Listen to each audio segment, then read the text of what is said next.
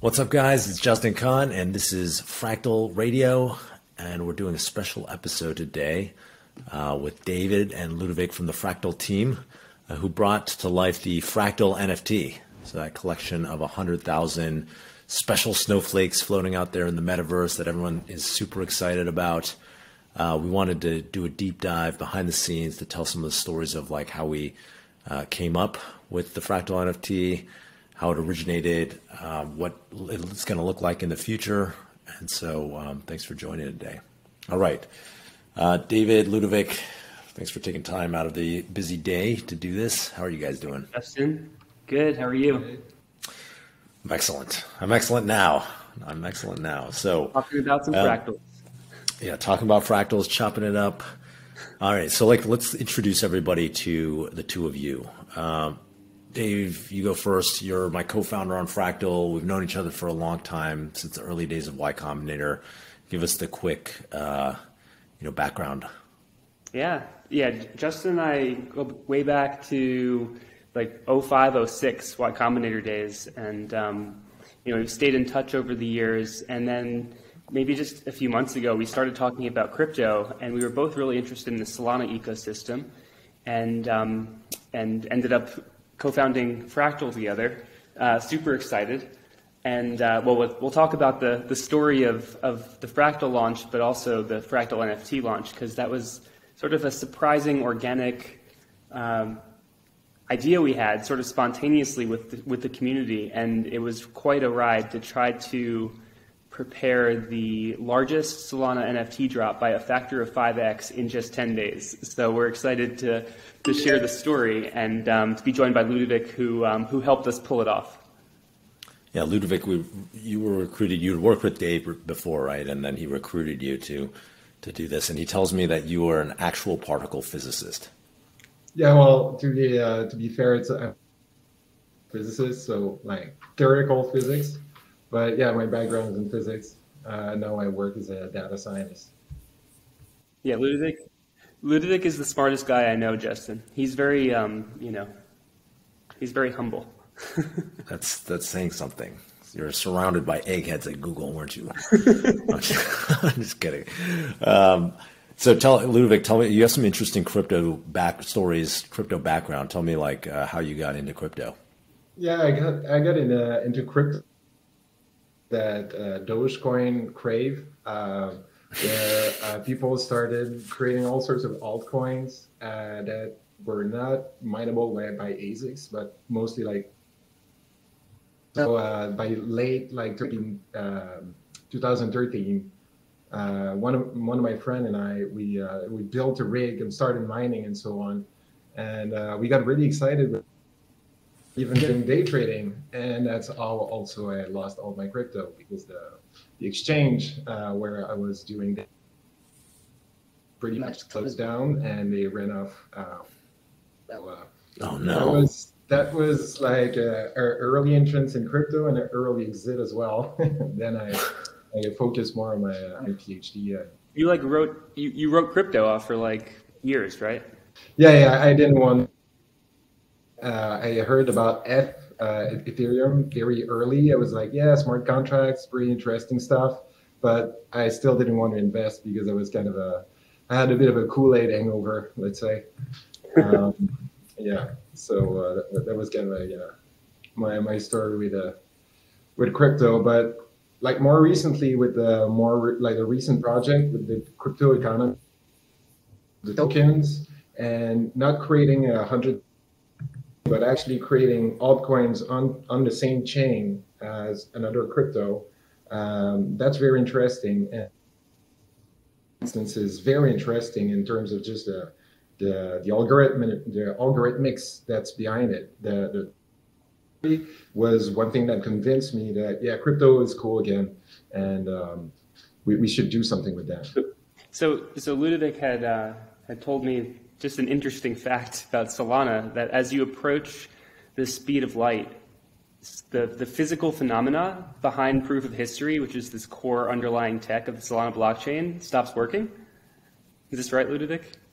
Right, right, right. Like I didn't prove that, but uh, I suspect that because it, because of uh, relativity, uh, things that are not casually like in terms of of uh, causality that are not related together, they might happen in any order.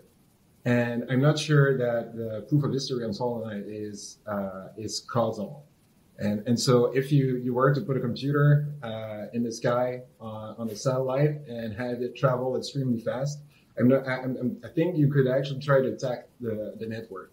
So uh, maybe in a in a thousand year we should uh, consider that for Solana. We're gonna have to upgrade. yeah. um, all right. Well, let's dive into fractals. So, tell us about the collection, David, and like how did we come up with it? Yeah. So, our Discord was growing pretty quickly, and our community was asking for uh, for anything, a token and some type of drop. And so, of course, we're going to make our community happy. So we decided pretty quickly that we were going to drop something to them, an NFT specifically. And at first, we thought this would just be a token of our appreciation for joining the community early, you know? Um, no big deal. Pretty quickly after, we realized we had a big opportunity. Uh, the Fractal community was being built from folks that were new to crypto you know, from Justin's network, from Twitch. Uh, many of these uh, folks in our community are new to crypto, new to NFTs, and one of the futures that we're excited about at Fractal is this this vision of a Web3 gaming world where you own your own assets. And one of the things that falls out from that is that you can use the same assets across different games. So if Ludovic owns uh, a special sword in game one, he could potentially take that out of game one, bring it to game two, and, and wield it there. And um, that is a really exciting uh, potential way in which Web3 games could, could work. And so we, we sort of like realized that with this really awesome, engaged, diverse, inclusive community that we were building in our, in our Discord, that we could actually drop an NFT that could show this potential, right? And so we thought to ourselves, why don't we build this this primitive, if you will, um, uh, for power level, right? Uh, power is something that lots of games have. There's always a notion of you know how much energy you have, right? And we thought to ourselves, it'd be really neat if we had this cross game power primitive. And similar to you know like the Loot project on Ethereum, where um, you know a, a, group just basically proposed a bag of words and led it up to the community to decide how to build on top of that bag of words. That if we put this asset out, the fractal NFT, out to the community and left room for ambiguity around exactly what it could be used for, but sort of gave hints here and there, it would be really exciting and interesting to see where it goes. And, um, and it's been really exciting. I mean, it's only been a week or so since the collection dropped, but we're already seeing lots of, we're, we're having lots of interesting conversations around um, how games think about potentially adding the, um, you know, any utility into their, uh, into their game. Um, or, I mean, you know, and it might not even be anything more than cosmetic, but still, there's a lot of interesting behaviors we can potentially unlock with this collection. And um, it came together super quickly. Uh, we're really pleased with how it, it landed. And um, we can't wait to see where we take it from here, you know? So one of the things is that it's interesting how it evolved over time to me because we started off as like like you said, it's like a token of appreciation, no pun intended. We were like, let's just drop something. We're gonna make it the biggest airdrop, and I really thought it was like, okay, we're investing this all this Solana just to like for the lols and we'll like distribute it to people. And I really, it's funny because I was, you know, the kind of the one originally trying to pitch, oh yeah, you'll use assets in one game and then they'll be usable in experiences in other games. But you were the one who like was like, hey, we had the opportunity to make this a possibility right now. And I remember like, you know, everyone was busy. We're trying to launch the site and we had 10 days until we were going to launch it. We agreed to launch it on Christmas Eve, which ultimately didn't happen. We, we delayed till New Year's. But you were like, let's spending all this time on the NFT and I'm like on making, you know, trying to make it awesome and adding all these attributes and like making the rare, you know, dis- distributed in a certain way with all the like attributes. And I was like, why are we I was thinking to myself, like, why are we spending all this time doing this? um, yeah, I mean, fun. I definitely felt that. Robin, Robin, one of the co-founders um, of Fractal, I think had the same concerns, and um, um, thank you for trusting me, Justin and Robin. yeah. So, so how did it like? Tell me about the process of, um, like all the work that went into it behind the oh, scenes. Oh God, yeah. Well, well, I mean, first of all, and we'll get into um, Ludovic's role in this, but we couldn't have done it without Ludovic. Um, he was he was really critical, and so when you're thinking about you know building an NFT project, um, I mean, the first step is you have to get the art right and generate the art to be and and like we could have pushed a placeholder, but that would have been lame. You know, if everyone's NFT looked exactly the same.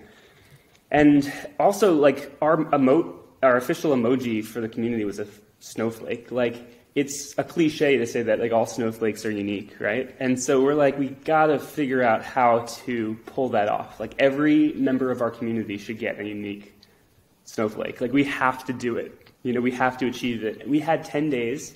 So, I mean, the first, the very first thing we did was we just needed to find the artist. Um, we got really lucky. Um, we didn't have any time to get it wrong, you know? Um, I basically uh, I found an artist out of Japan who had done similar work to what we sort of wanted to convey, and um, and actually he was just about to. And by the way, we're going to do a um, a Medium blog post interview with him. He doesn't speak good English, but it, it'd be awesome to to share his story.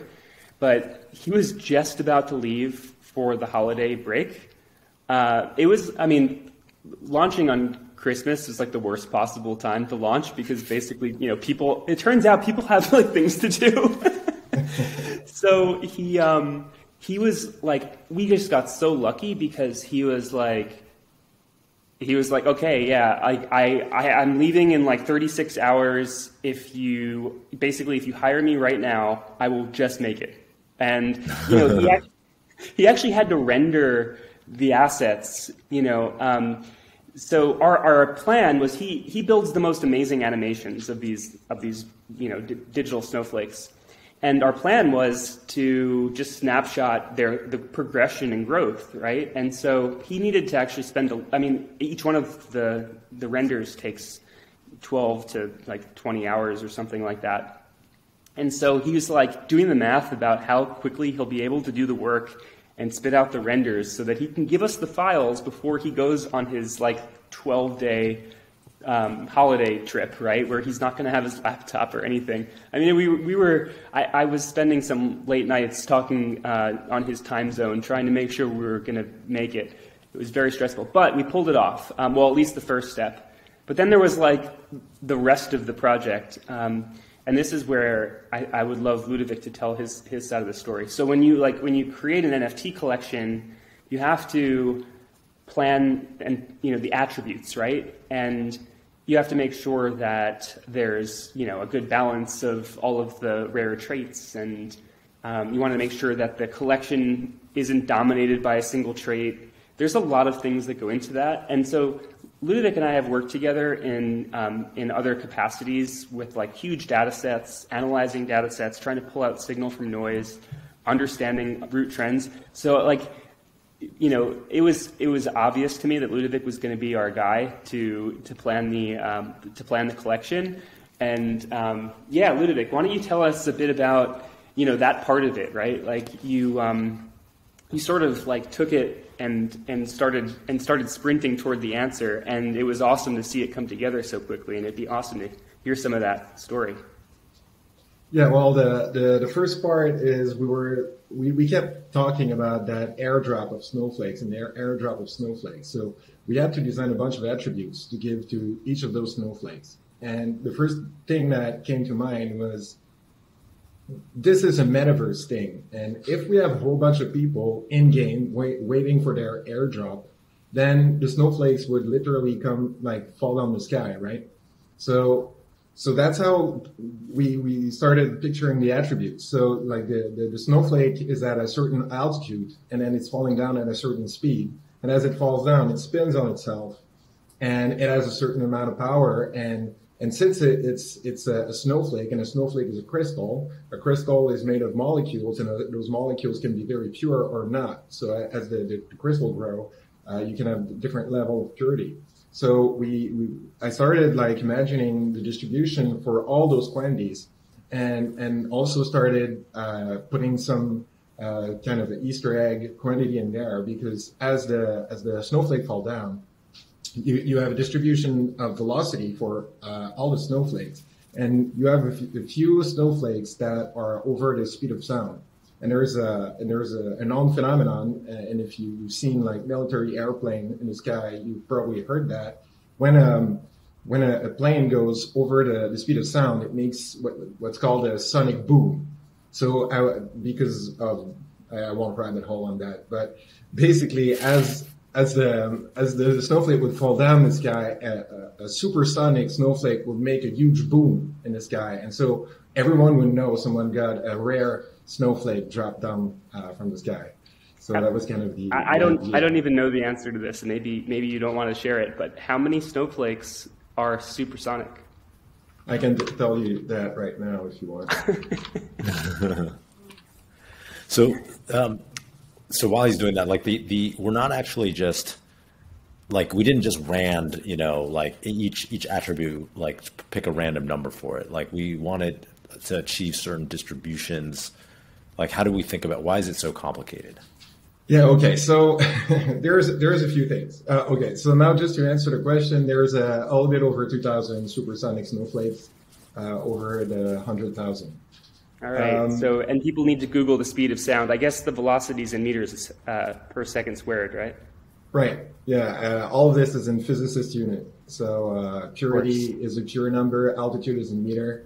Um, the the spin is in degrees per second velocity meter per second and power, well, then you, you figure it out because power is not exactly a, a physicist concept. It's not case. in it's, it's not in kilojoules or something. Yeah, well, or from calories. a scale of zero to hundred, where well, twenty to hundred doesn't make quite as much sense. But uh, yeah. so yeah, calories. it's sort of like a Snickers bar for a full powered fractal. So, so yeah, we, so the, the distribution, what's so complicated about it is try, trying to give uh, everyone a chance to get a very rare snowflake. Uh, and uh, and and not make so so so you have those those four factions, right? And and people that were very early get uh, snowflakes from the Exa fa- faction. And so since they're very early, we want to give a little bit of an edge so on average, the, the, the Exa snowflake is, has like higher attributes all uh, on each attribute. But a, as you go down, on average, each snowflake is a bit lower. But when you get into a trifaction, there's 70,000 snowflakes there. And, and so you roll the dice like more often. And as a result, you get more extreme values that like in, in, in statistics, we call that the black swan effect. Like if you see yeah. a bunch of swan, and if you see five swan, you'll never see a black swan. But if you see a hundred thousand swans, you might end up on, on one very rare black swan. And that's that's one thing I try to convey in the distribution here. So you you get like very very rare snowflake in the tri faction, even though it's the faction that is um, that that that has the, the, the least of an edge, uh, basically. What I what I love is we had a community member um, do an analysis of a subsample of like 3,600 fractals, and they plotted out the uh, you know the distribution across each faction and such. And it was the first time I think the community realized that some of the you know some of like the tries, for example, and I think the quad and the and the pentas as well have some really rare special fractals in there for exactly that reason. You, you designed it with that in mind because we don't want the collection to be dominated just by a single faction because there's more to the collection than just the faction attribute, right? Yeah, that's it. That's it. And by and, and that's one thing that uh, I spend so much time on is calibrating all the distributions such that when you look at like the probability to have a certain snowflake, that this like low probability snowflake could you could you could interpret as uh, the, the rarest snowflakes. And we wanted to make sure it was not completely dominated by exafaction and then uh, by quad and then penta then tri. We wanted like in every slice of rarity to have uh, a mix and match of all four factions. And so that that required a lot of work. Gotcha. Yeah, that makes sense.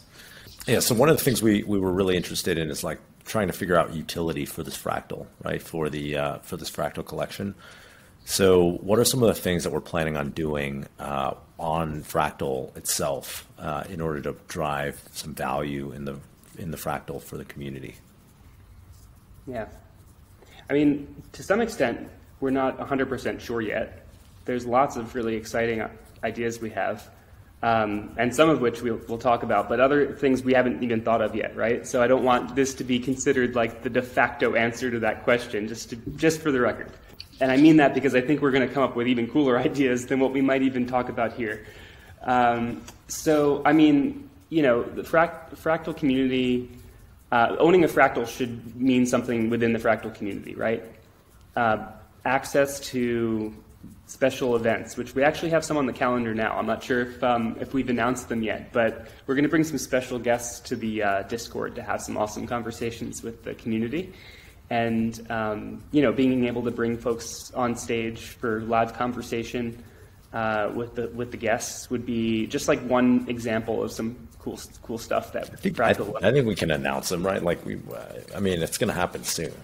Like we got, right. let's just do it. Fuck, we got we got Gary Vee coming uh, for a special chat with our, to our fractal holders, uh, as well as Emmett, my Twitch co-founder, is the CEO of Twitch. So uh, we'll d- drop the date soon for when they're going to come. But if you're a fractal NFT holder, uh, you'll be able to get in that uh, chat and Discord and uh, ask questions to those guests, and we're going to bring out more as well. Yeah. And then the other thing we're, we're planning on doing is obviously there should be some benefit to holding fractal NFTs w- with Fractal itself, like with the marketplace itself. So, um, David, do you want to talk about some of the, the things that we've, we've, talked about there? I'm not sure how specifically because we haven't really decided yet, but we have a bunch yeah. of ideas. Yeah, I mean, it might it might provide some benefit in some mints if um, if fractals are held by real people then it might actually be a really good anti-bot solution, right? Because there's a um, known community of folks that would uh, mint a project, and so maybe some of these games actually prefer to have the fractal NFT holders on the whitelist. So there might be something around just access. Um, I think there's probably going to be some type of, um, you know, some type of uh, not, i don't want to say discount, but definitely some, you know, maybe there's some economic incentive to participate. Maybe, maybe fractals are airdropped to folks in the marketplace that are most active buying and selling on Fractal. Um, you know, then this is where we're not exactly sure, but you know, fractals are sort of a way to symbolize who's within our community, and we want to use it as a way to reward um, and incentivize the right behaviors within the community. And so, um, you know, so perhaps like your trading activity and all that stuff could actually unlock fractals for your wallet in the future. And tell us, like, we've talked to some of our partner games, like people we've been who are launching games, game studios that are building on blockchain, about integrating with Fractal, and um, you know, tell us about like some of the ideas that they've had or ways that that Fractal might make it appearance inside of games. Yeah, I mean, and this is where you know we, we try not to have opinions, right? Because we're the, the, the balance of power and how these games work um, with respect to, you know, uh, the ability to have some skill to up level versus the ability to pay to up level. That's a very delicate balance, and so these games are all designed very intentionally and so we don't go into those conversations with much opinion other than the fact that we think that there's this really fantastic engaged community of gamers in the fractal community that would absolutely love uh, to see the fractal make an appearance, right? So I think there's sort of like two types of integrations that we're going to see. Um, the first is purely cosmetic. You know, maybe Ludovic has uh, a Hexa Fractal, and so his his tank in Panzer Dogs glows, you know, yellow. And by the way, I'm just using that as an arbitrary example, not um, to make any commitments on behalf of Panzer Dogs here. But like everyone who's you know battling Ludovic in, in his tank is like, holy shit, look at that thing! It's like glowing in the dark, right? And like that that would potentially have no benefit from like in the game and like wouldn't make his weapons more powerful but it would just be freaking cool and everyone would know that that guy was you know that guy Ludovic was in the um, the hexa faction um, then there's like there's other games. I, I don't want to be too specific, but there's other games that have these like charms and trinkets that you can pick up along your journey, and it's possible that the fractals are um, related to that somehow, right? And um, we're we're you know I'm sure that folks who have spent some time thinking about fractals and maybe have, have bought some already have seen on our website that we have said from the very beginning that fractals are subject to change slightly over time. And this is really important to us because we feel like there is so much potential. Like most NFT collections are static, right? That's what you think of. You think of immutability, the inability for, uh, for folks to edit when you think of an NFT. But I think we're at the very early stages of what an NFT means and could be. And I think we've only collectively scratched the surface on like the cool things that they unlock. And like I think gaming is going to be one of those sandboxes of like of innovation where like there's going to be all sorts of really fantastic things but one of the things that is required for some of that innovation is the mutability the ability to, for the things to change. So imagine if your power level actually adjusted based on gameplay, and imagine if like you could, um, you know, you could go into one game and perform super well, unlock some some special benefits because you're just like such a rock star player in that, in game one, and then actually power up your fractal as a result of that play. So maybe you actually have to stake your fractal into the game. You know, you do your thing, you you win your matches, and now you've powered up you could take it to the marketplace and sell it if you like, which and it might be worth more than what you paid. You can go and use it in game number two and now like unlock a new level because you're at a certain power level. Now, do we know for sure whether this is, you know, this vision is going to come to reality? No, I don't think so. But we definitely think that there's a huge potential for these types of interactions across game. And we wanted to be the uh, you know, a company that actually helped bring that future forward because it's a really powerful vision. And it's one where if it works, it can work in a like such an a, incredible way and change the perception around what games and Web3 could mean. Yeah, it's um, it's a pretty powerful vision, and I feel like a lot of game companies already have been reached out and they want to partner and bring the fract, you know, some experience to fractal holders, um, you know, already. So I'm I'm pretty excited about that. And hopefully, you know, and hopefully over the, the coming weeks and, and months, we're going to have some really fantastic specifics to share with, with all of you guys. Um, and the, the game developers, you know, to some extent, they don't even need the Fractal team, right? They, it's, these, are, these are assets that you own. They're in your wallet on a public blockchain. And, um, and games can recognize that however they choose. And that's part of the exciting part of the composability of Web3 is one of the most exciting aspects of it. I feel like that was a pretty great overview. David, Ludovic, thank you so much for, for joining. Yeah, it's good to chat with you, Justin. Thanks for having us on.